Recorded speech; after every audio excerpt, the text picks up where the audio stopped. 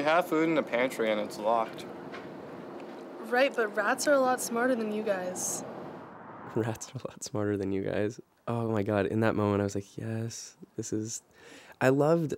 The the most rewarding part about filming though was, I and I, I don't know if you felt this way too, Liz, but you almost knew when Oh, yeah. you had you had a scene like you were so excited when something like that would happen. It was This day in particular was so great that it was overwhelming because we just Oh, had yeah. so much. This was the first day Derek, our producer, came out, and I think this is only the second day we were shooting with Skye, and all of this stuff kind of explodes.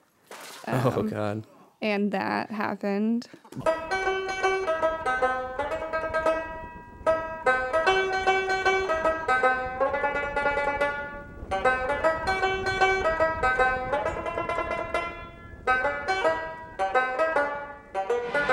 Night, the parades pass through the city streets. They have a problem to squeeze in all of the celebrations that mark the days before Lent.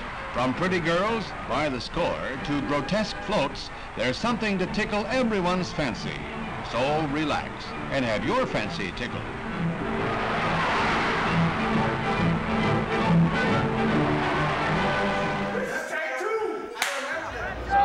so that when you die, you can, you can experience eternal life.